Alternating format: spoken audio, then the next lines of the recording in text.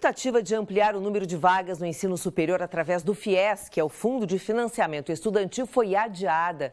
É que com a crise política instalada aqui no país, após a delação de executivos da JBS, o MEC, o Ministério da Educação afirma não ter previsão de quando vai apresentar o novo modelo de financiamento.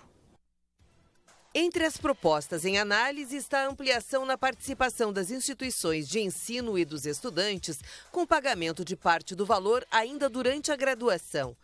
Também se cogita uma parceria com instituições financeiras privadas para viabilizar os financiamentos. Segundo o MEC, uma auditoria do Tribunal de Contas da União aponta para uma taxa de inadimplência de quase 50%. Agora, os estudantes que contavam com o financiamento tiveram que adiar o sonho de concluir a graduação. Aqui no estado, em 2017, houve uma queda de 37% no número de novos contratos de financiamento.